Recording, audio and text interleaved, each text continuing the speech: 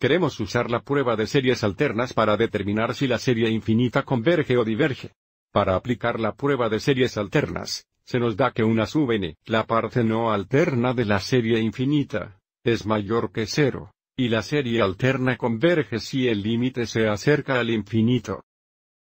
De un sub n es igual a cero, y un sub n más 1 es menor o igual que un sub n, lo que significa que los términos no son crecientes.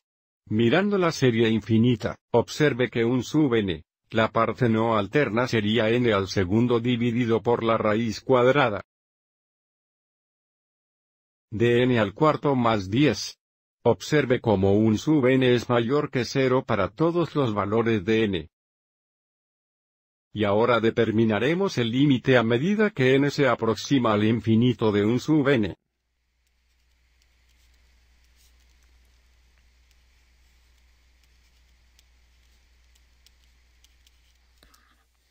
Hay un método abreviado para determinar este límite observando el grado del numerador y el denominador. Observe cómo el grado del numerador es grado 2, por lo que al mirar el denominador, observe cómo el más 10 es irrelevante a medida que n se acerca al infinito.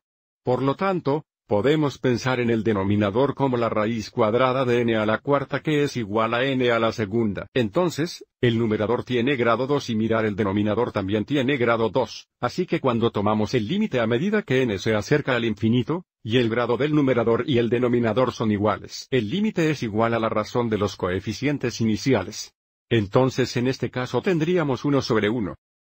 Lo que sería igual a 1 positivo. Entonces, este límite es igual a 1 positivo que no es igual a 0 y, por lo tanto, la serie diverge en la prueba de divergencia del enésimo término. Pero también podemos mostrar algo de trabajo para determinar este límite. Para mostrar el trabajo, dividiríamos todo por la potencia más alta de n en el denominador, que en nuestro caso sería n al cuarto debajo de la raíz cuadrada.